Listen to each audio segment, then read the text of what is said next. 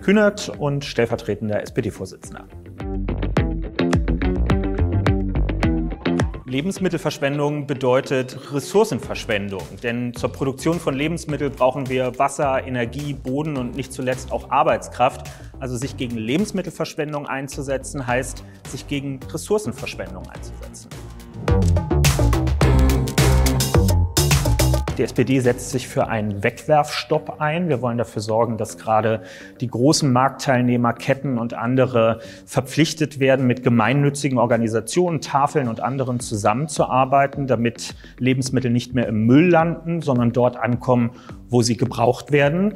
Wir wollen, dass das Mindesthaltbarkeitsdatum überarbeitet wird. Viele werden irritiert, wenn sie sehen, da ist was abgelaufen, obwohl vieles noch nutzbar ist tatsächlich. Und wir wollen die Bildung schon bei den Jüngsten im Bereich des Umgangs mit Lebensmitteln deutlich stärken.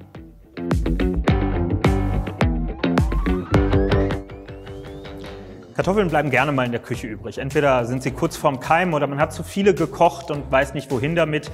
Dann haben wir in Berlin dafür Hoppelpoppel erfunden. Das ist so ein Pfannengericht, da kommt alles rein, was übrig geblieben ist. Die Kartoffeln kann man in Scheiben schneiden und Bratkartoffeln draus machen. Man kann Fleischreste, Gemüsereste, Lauchzwiebeln oder was auch immer dazu machen. Sahne oben drauf und dann hat man ein sehr leckeres Pfannengericht. Geht natürlich auch vegetarisch mit Seitan oder Tofu beispielsweise.